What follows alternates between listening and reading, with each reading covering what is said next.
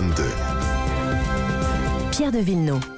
Avec autour de la table Guylaine Ottenemer euh, de Challenge, bonjour. Bonjour à Charlotte Dornelas de Valeurs Actuelles et Louis Dragnel.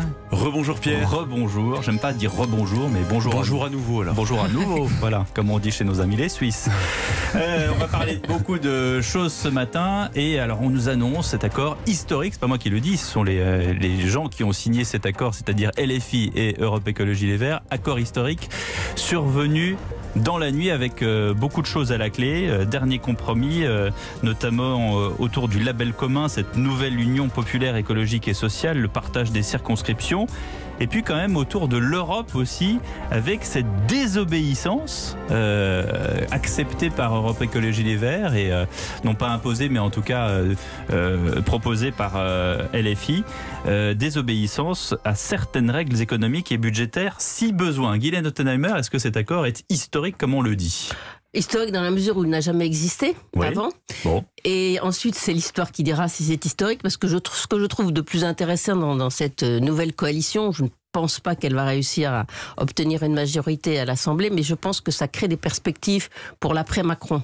Hmm. Et donc, si jamais une, une, euh, une personnalité émerge euh, au sein de cette coalition, euh, il y aura une possibilité d'alternance vraiment très à gauche.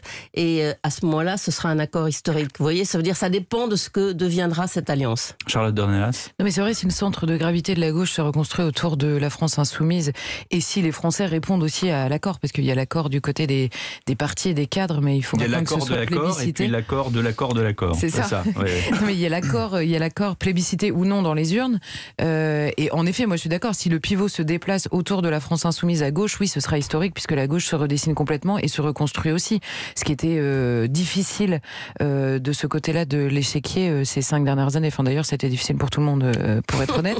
mais, mais là, ils arrivent à reconstruire quelque chose avec, avec Jean-Luc Mélenchon à la tête de ça et donc le programme de la France insoumise. Donc oui, quand même, ils réussissent quelque chose d'assez exceptionnel. Oui. alors, exceptionnel, historique. En tout cas, il y a, il y a quelque chose d'extrêmement extrêmement rapide. Jamais on a vu après une élection présidentielle, jamais, je sais pas, je, j'en appelle à vos souvenirs euh, tous les trois, mais, euh, euh, cette, façon, j'allais dire, de détricoter tout ce qui a été conçu. Enfin, je veux dire, il y a quand même un, vote, un suffrage universel au premier, au second tour. Puis là, tout d'un coup, on dit non, c'est pas comme ça que ça va se passer.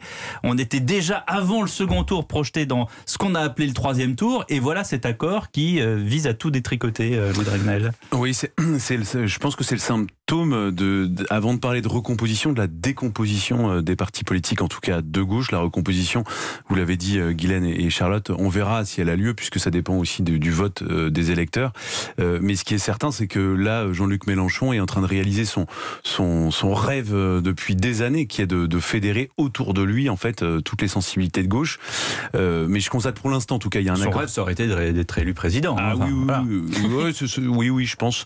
Mais ce qui, ce qui est intéressant, c'est de voir aussi pourquoi ça ça, patine un peu avec le Parti socialiste, euh, qui, euh, même s'il n'y a pas de corrélation entre directe entre l'élection, le résultat de l'élection présidentielle et les législatives, faut quand même rappeler que le Parti socialiste a fait 1,78% mhm. euh, dans les urnes.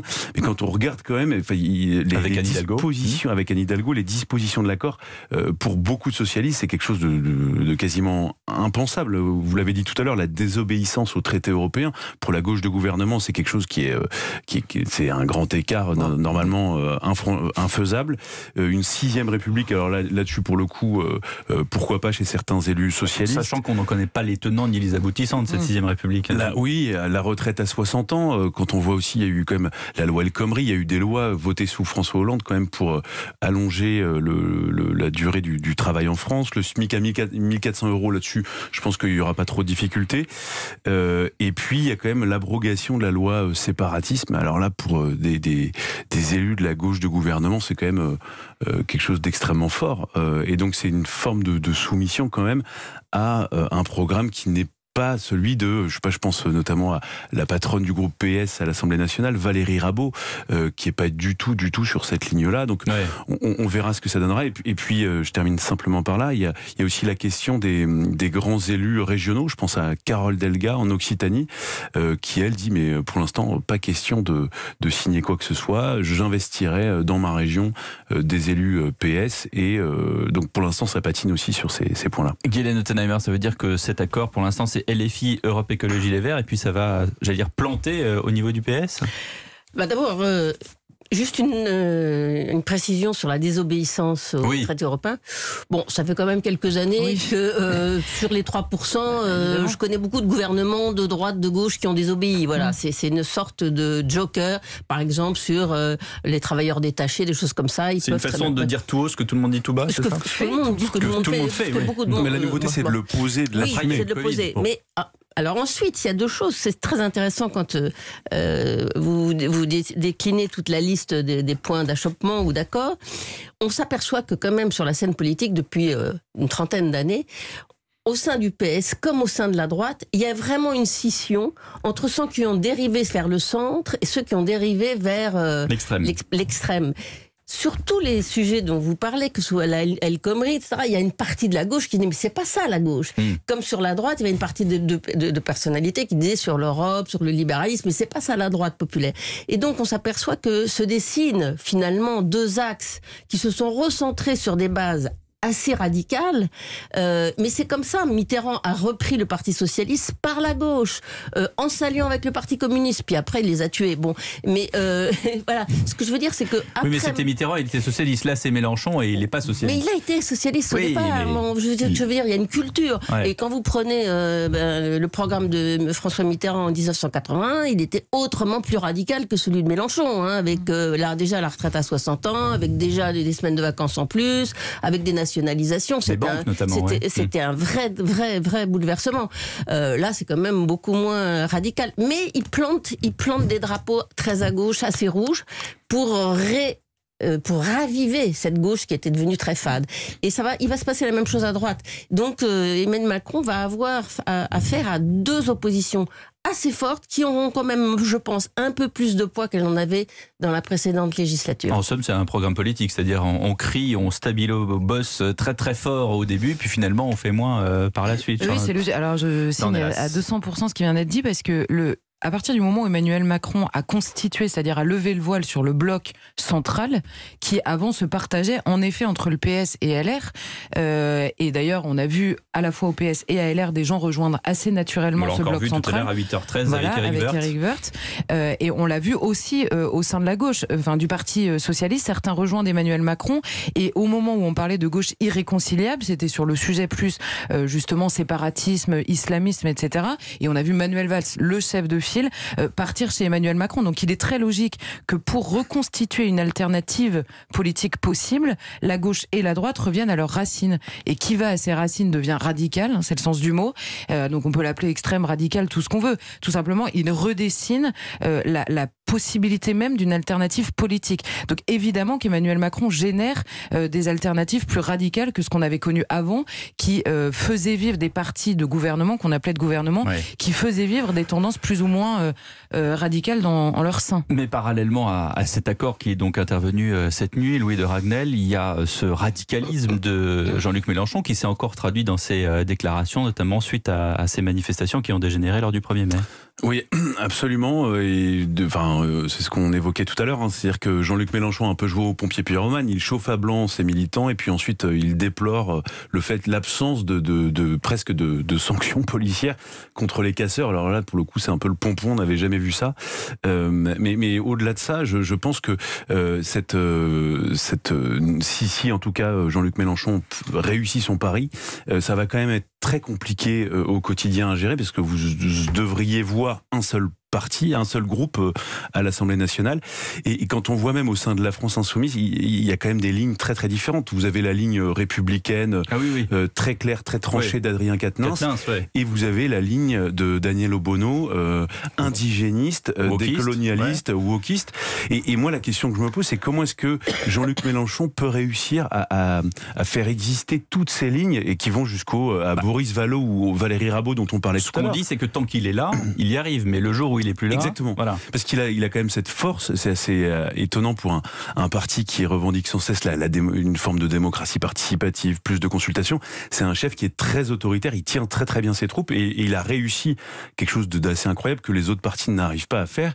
Euh, c'est à, à, gommer, à faire en sorte qu'on ne voit pas euh, toutes ces divisions qu'il y a au sein de la France insoumise. Et pourtant, elles sont très très présentes. Je vous, on le redit, hein, entre les indigénistes et la ligne très républicaine, très laïque, c'est quasiment deux formations qui théoriquement devraient s'affronter. Et ça peut être un, un problème pour la suite. Du coup. Ah, ça peut être clairement un problème pour la suite. Donc ça va être encore une fois, voilà, le nouveau défi de Jean-Luc Mélenchon, c'est de faire coexister toutes ces personnes-là, faire vivre un certain nombre de sensibilités. et, et, vous voyez, je pense simplement à la loi El Khomri, qui c'était une ministre de PS de, de François Hollande, voir que dans les dispositions de l'accord, il y a l'abrogation de la loi El Khomri.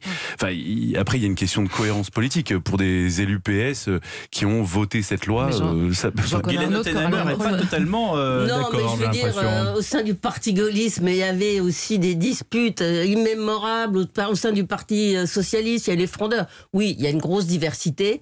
Et, enfin, là, parfois, c'est des oppositions presque irréconciliables. Je, je suis d'accord. Je voulais juste revenir sur le point, là, il chauffe à blanc, euh, Jean-Luc Mélenchon, ses militants, et après il s'indigne que la police n'ait pas euh, suffisamment euh, stoppé les, les, Black Blocs. Moi, j'ai entendu Bompard ce matin s'en expliquer. Moi, je suis assez d'accord. Je veux dire, il y a un truc qu'on supporte plus, et je crois que les Français ne supportent plus, c'est ces, ces, manifestations qui sont détournées par des bandes de, de, casseurs et de black blocs. Et quand on regarde les images à la télévision, on se dit mais comment? Je veux dire là, il y a à côté, il y a la guerre en Ukraine, on envoie des chars, il y a des trucs, on sait faire des trucs incroyables, et on n'arrive pas à maîtriser des bandes où on ne sait pas, c'est quoi? C'est une population de quelques centaines de, de, jeunes, et, et c'est c'est quoi C'est la photo casseur Non, bah, c'est la photo casseur. Ça, c'est la première. D'abord, c'est d'abord la photo casseur. Ensuite, on ne comprend pas, on a du mal, mais il faudrait que, faudrait, attendez, je termine. il faudrait quand même que la, police s'explique sur la difficulté. Et là, on en a, on en a arrêté 45. Mhm. J'aimerais qu'à savoir quel va être leur sort. Euh, parce que c'est ça que les Français ne supportent plus, c'est qu'on arrête les gens, puis finalement, on n'a on a pas, le vidéo, on pas les vidéos, on n'a pas les témoignages, ils avaient des, des cagoules, est-ce que c'était vraiment... Donc ça, c'est compliqué. Et euh, bon, évidemment, Mélenchon euh, a beau jeu de dire c'est la photo flic. C'est plus compliqué que ça, je suis d'accord. Mais franchement, euh, dans chaque manif, que ce soit qui que ce soit, on est toujours face au même scénario. Louis Dragnel. Euh, vous avez raison sur le constat. Ensuite, euh, qu'est-ce qu'on fait? La réponse, il y en a une seule, c'est est-ce que on autorise, on légalise les interpellations préventives? Mm. Toutes les personnes, je suis d'accord, toutes les personnes qui ou quasiment qui mm. ont été interpellées, il y a quelques personnes d'origine étrangère qui sont venues uniquement dans l'objectif d'en découdre et de mm. casser du flic. toutes les autres personnes, elles sont connues des services de police. Donc dans ce cas-là, est-ce qu'on fait des interpellations préventives? Ça avait été fait de manière assez exceptionnelle. le 1er 8 décembre au moment de la crise des Gilets jaunes. parce que là on en a arrêté 45. Jean-Luc Mélenchon, vous croyez qu'il accepterait de voter un texte pour euh, légitimer, pour euh, légaliser les interpellations préventives? On est, est d'accord sur le fait que la police et que les politiques doivent se mettre d'accord sur mais c'est pas la faute de la police et... Non, non, mais je veux dire, là ils en ont arrêté 45. Qu'est-ce qui va leur arriver? Il faut que le, les gouvernements se mettent d'accord sur des lois et des process qui permettent petit à petit d'exfiltrer tous ces gens. Je suis d'accord avec vous, Guylaine, mais encore une fois, euh, la loi ne permet pas, par exemple, de, de judiciariser l'affaire d'un black bloc dont on n'est pas certain euh, dans les images de vidéosurveillance que euh, telle, euh, telle silhouette correspond à telle identité. Donc moi je veux bien, hein, mais dans ce cas-là, on fait évoluer la loi et je suis pas du tout sûr que la France insoumise accepte de voter un texte dans lequel, sur la base d'un soupçon ou alors sur la base d'une déclaration d'un policier, on hmm. considère que telle personne qui a une capuche et dont on voit pas le visage, en réalité, est un casseur très identifié auquel qui, qui, a été interpellé.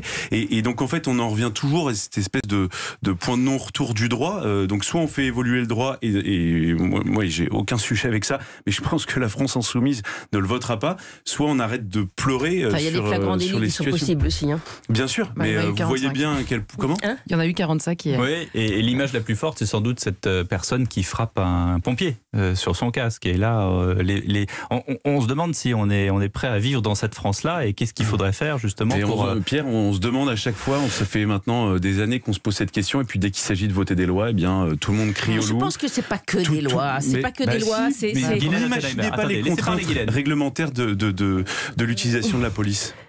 Il y a un le travail de la police et l'organisation autour des manifestations, avec effectivement euh, des difficultés avec les arrestations pré- préventives. Et puis ensuite, il y a le, le traitement par les magistrats. Euh, là, on, on- Hmm. et puis et puis il y a l'explication. droit, Et puis il y a euh, l'explication publique. Bien souvent, on ne nous explique pas ce qui se passe après. D'où l'exaspération des Français qui disent bah voilà, on en a arrêté, mais où ils sont devenus Ou évidemment, on les a relâchés. Vous entendez tout le temps ça. Oui, ben on les relâche tout de suite. Et il y a un vrai problème. On ne fait pas suffisamment de travaux d'intérêt général, euh, généraux parce que ça coûte très cher et il n'y a pas d'encadrement. On ne met pas dans les prisons parce qu'il y a trop de monde et puis ça, ça, ça aggrave les cas. Donc vraiment, les Français sont en attente d'une réponse et ça, ça va être un des sujets d'Emmanuel Macron. Eh bien, merci à tous les trois. Merci pour ce débat politique. Merci à Charlotte Dornelas de Valeurs Actuelles. Merci à Guylaine Ottenheimer de Challenge. Et Louis Dragnel d'Europe 1. Très Merci, bonne Pierre. journée. Dans Merci un à instant, c'est Philippe Vandel.